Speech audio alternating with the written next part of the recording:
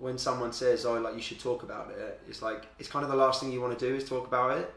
You know, I was 28, and you go from being, you know, one of the best in the world at what you do to what do I do now? Go. Walker Hebborn could have got this. Well, Trevor's still going well, maybe dying a little bit closest to us for Australia, but Walker Hebborn is powering away. Well, Chris Walker Hebborn is going to win the Commonwealth title on this men's 100 metres backstroke.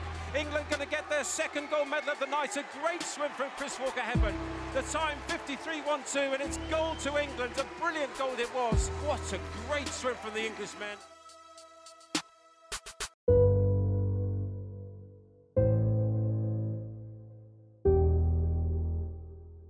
Years ago, the younger athlete or the younger younger me wouldn't have ever imagined sitting down and reading a self improvement book, something like a vision board, but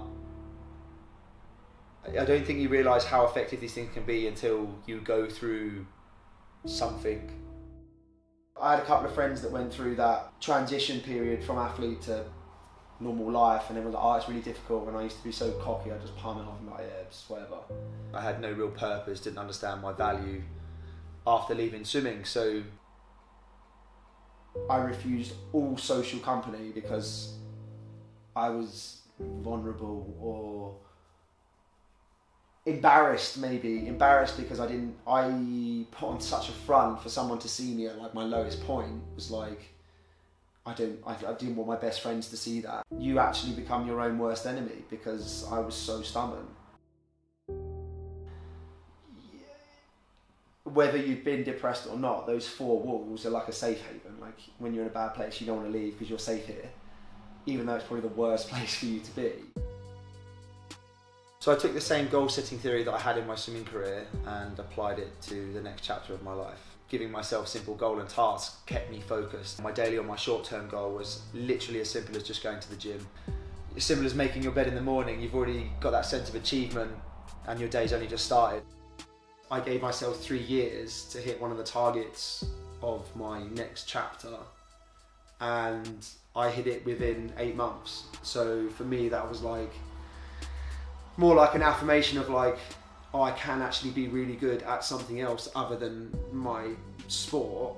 And even though I'm a confident person, or I had been a confident person coming from my background, it was like this was completely new to me. I don't have a degree, I don't have any of those things. I just have my my chapter one. Unfortunately, it's one of those cases where it's not until the student's ready that the teacher appears. As lame as it may feel or uncomfortable it may make you, download the app, get the book that someone suggested, start meditating, just just take the plunge. Everything good happens just outside of your comfort zones. You know, go out and get that vision board. Make sure it's the first and last thing you see. Just have it in your face all the time. Don't let it get away from you. And just reinforce it day after day. They helped me find a normality, a sense of calmness. You know, I still use these things in my day-to-day life at the moment because they had such a profound effect that there's no reason to stop using them. That definitely helped me find my feet eventually, but the process was obviously bumpier than I think it should have been had I prepared there. But sometimes it's not that easy to prepare when you've got blinkers on.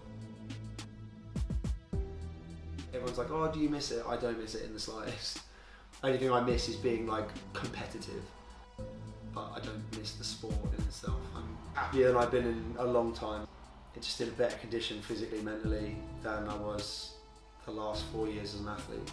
To be doing what I'm doing, earning what I'm earning, and all of those things and all those goals just sort of reaffirms to me as like, oh, actually, like you, you are good at what you do. You are on the right path, and just all of those things, you know, like just confirmations that you're making the right decisions or heading in the right direction. So.